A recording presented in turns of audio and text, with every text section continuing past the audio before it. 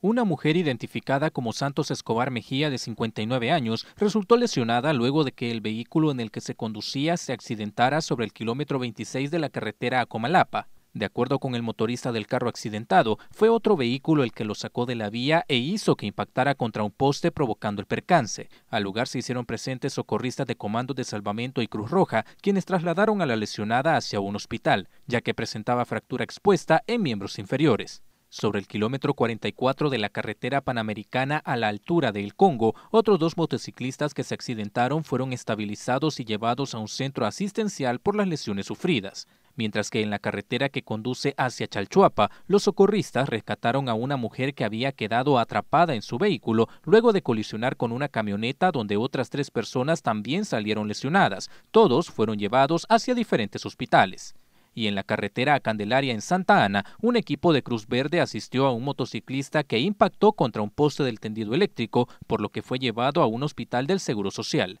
Hasta el 15 de junio, el Observatorio de Seguridad Vial reporta la ocurrencia de 7.956 accidentes de tránsito, 4.784 lesionados y 551 personas fallecidas. Fernando Morales, Noticiero Hechos.